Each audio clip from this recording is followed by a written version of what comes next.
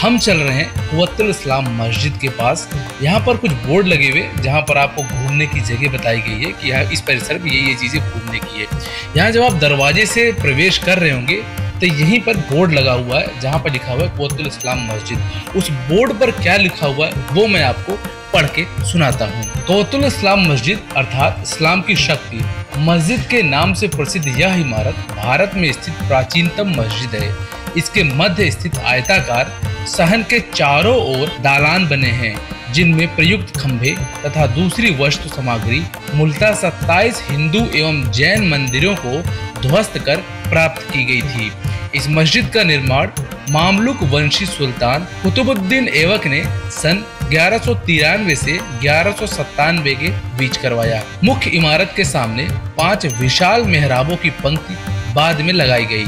ताकि इसमें इस्लामी वास्तुकला की विशेषता दृष्टिगोचर हो। इस मेहराबों पर अंकित धार्मिक लेख जैमितिक एवं अरबी ढंग का अलंकरण है। पर इनकी गठन में हिंदू शिल्प की छाप स्पष्ट है। कालांतर में शमसुद्दीन इल्तुतमिश और अलाउद्दीन खलजी ने मस्जिद का परिवर्तन किया।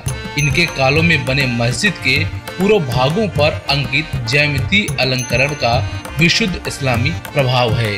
तो ये यहाँ पर लगे, बोर्ड में साफ़ साफ़ लिखा हुआ है। ये तो आपने वो सुना जो यहाँ की शिला पट्टिका पर लिखा हुआ था, लेकिन अंदर प्रवेश करते ही मैंने क्या देखा और मैंने क्या महसूस किया, वो आपके साथ शेयर करता हूँ। ये छत जो आप देख पा रहे हैं, ऐसा किस इस्लामिक आर्किटेक्ट में आपने देखा है, ये आपको कमेंट करके बताना है। ये जो चित्रकारी हुई है यहाँ पे, उल्टे कलश और कई जगह यहाँ पर गाय जो अपने बछड़े को दूध पिला रही है, उसका भी चित्र आप यहाँ पर बड़ी आसानी से देख पाएँगे। ये सारी चीज़ें आपको क्या लगता है कि आपने किस ऐसे इस्लामिक आर्किटेक्ट में और कहीं पर देखा हुआ है? यही नहीं, यहाँ पर कई देवी और देवताओं की मूर्ति है जिनको अभी नष्ट कर दिया है। तो ये वीडियो आपके आँख खोल देगा यहाँ पर किस तरीके से विध्वंस हुआ है हिंदू और जैन मंदिरों का? यहाँ पर कई जगह पिलर पर घंटिया बनी हुई हैं, जबकि घंटिया इस्लाम में शैतान की आवाज़ कही जाती है।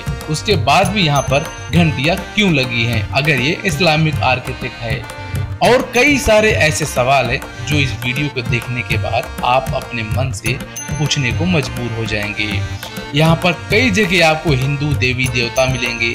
कई जगह आपको यहाँ पर नृत्य करते हुए मूर्तियाँ बनाई गई हैं और ऐसे कई सारी मूर्तियाँ, ऐसे कई सारे डिज़ाइन यहाँ पर उकेरे गए हैं, जो आपने कहीं न कहीं हिंदू मंदिरों में देखे होंगे, हिंदू मंदिरों में देखे होंगे, या फिर हमारे पुराने घरों में जब लकड़ी के दरवाजे हुआ करते थे तो उन दरवाजों पर ऐसी डिज़ाइन बनाई जाती थी।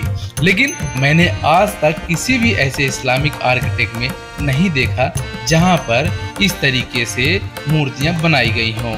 यहाँ पर तो साफ़ साफ़ आप देख पाएँगे यहाँ पर पिलर पे लगी घंटियाँ देवी देवताओं की मूर्तियाँ जिनके चेहरे को कुछ लोगों ने बिगाड़ दिया है। लेकिन सवाल ये है कि क्या मूर्तियों को बिगाड़ देने से आप सच्चाई को छुपा पाएँगे? तो जवाब है नहीं। यहाँ पर कई सारे टूरिस्ट गाइड आपको मिल जाएँगे जो आपको एक एक चीज़ अच्छे से समझाएँगे।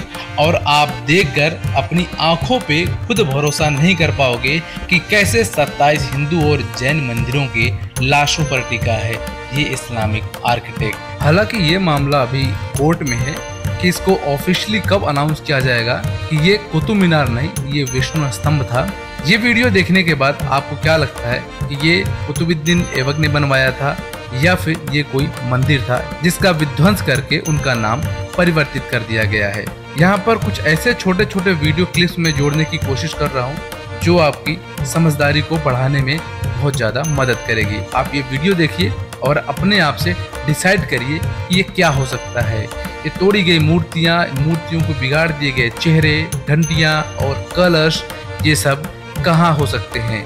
क्या ये किसी ऐसे इस्लामिक आर्किटेक्ट में हो सकते हैं? अगर हो सकते हैं और आपने देखा है तो कमेंट करके आप ये बताइए कि ऐसा आर्किटेक्ट किस इस्लामिक स्ट्रक्चर में है और वो कहाँ है? ये वीडियो बनाने का उद्देश्य मेरा किसी भी धर्म, प्रांत या जाति के लोगों को आहत करना नहीं है। बस मैं हमेशा प्रयास करता हूँ कि जो सच है, वो आप तक पहुँचाया जा सके।